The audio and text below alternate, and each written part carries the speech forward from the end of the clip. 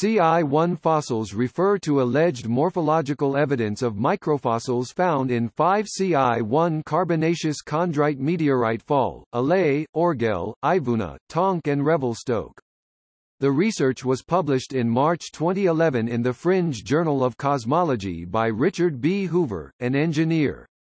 However, NASA distanced itself from Hoover's claim and his lack of expert peer reviews.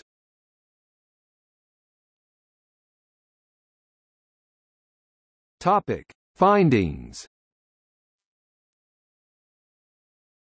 Hoover's team used environmental ESEM and field emission scanning electron microscopy FESEM to analyze the meteorite samples, studying internal surfaces. Hoover also produced electron micrographs which he believes resemble the shape of trichomic cyanobacteria and other trichomic prokaryotes such as the filamentous sulfur bacteria. For comparison, Hoover compared the samples to those of terrestrial minerals and biological materials. Hoover concludes from these results that the CI1 fossils are indigenous to the samples. The claims were initially submitted to the International Journal of Astrobiology, which rejected the paper, but were eventually published by the Fringe Journal of Cosmology.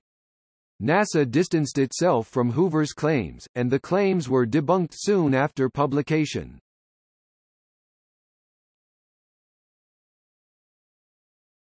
Topic. See also.